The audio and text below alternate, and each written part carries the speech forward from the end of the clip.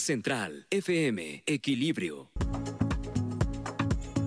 Vamos a entrar en comunicación con el comentario binacional de Enrique Perret, director del US Mexico Foundation, allá en la sede de Washington, cuando se proponen agendas ciudadanas que involucran a los asuntos que tenemos en común.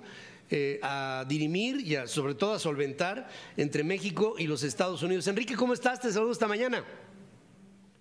Pedro, buenos días, otra vez como siempre, cada 15 días y gracias por el tiempo. Es un placer. Eh, yo, mira, compartirte esta idea, Pedro, es, es el tema de diplomacia pública.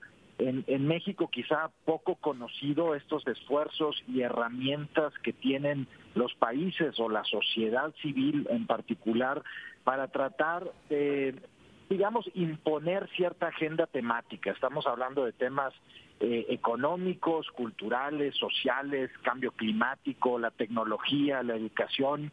Eh, hemos visto esta semana mucho que ha sucedido en las Naciones Unidas, en, en Nueva York, pero también acá en Yucatán con los premios Nobel. Bueno, eso al final del día, todo, todo el entramado, Pedro, que hay detrás de eso, pues tiene que ver mucho con una sociedad activa de ambos países. En, Estados Unidos, yo creo que Estados Unidos es el país que mejor ha entendido estas herramientas que tiene a su alcance para establecer una agenda, esta diplomacia pública que hacen diariamente a través de la academia, a través de la sociedad civil, de instituciones, de fundaciones que han creado para ese para ese aspecto. Estados Unidos lo lleva haciendo desde hace 80 años, Pedro, ¿no? Después de la Segunda Guerra Mundial, el tratar de, pues, de, imponer o de establecer una agenda mundial y eh, uno de los principales herramientas que ha utilizado, Pedro, y que es en particular el que a mí me interesa mucho es los viajes de conocimiento que hacen. Estados Unidos dedica casi 600 millones de dólares al año, el Departamento de Estado, para eh, influir en estas decisiones. ¿Cómo lo hace? Bueno, tiene un programa, por ejemplo, Pedro, de atraer a los futuros líderes de todos los países del mundo a través de sus embajadas, de sus fundaciones, de sus instituciones. Todos los años, Pedro, Estados Unidos trae cerca de cinco mil potenciales futuros líderes, ¿no? Y ahí están incluidos los mexicanos. ¿Y qué sucede con estas personas que viajan a Estados Unidos? Tienen una estancia de entre una semana y tres semanas, visitan diferentes ciudades, platican con sus contrapartes, con diferentes actores políticos, económicos, sociales de la comunidad de Estados Unidos, y entonces regresan a casa con un chip distinto sobre su sobre su percepción de Estados Unidos.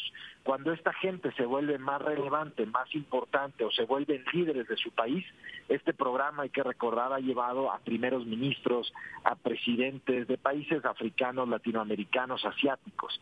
Y es por eso que la relación de Estados Unidos con estos países se vuelve muy fuerte.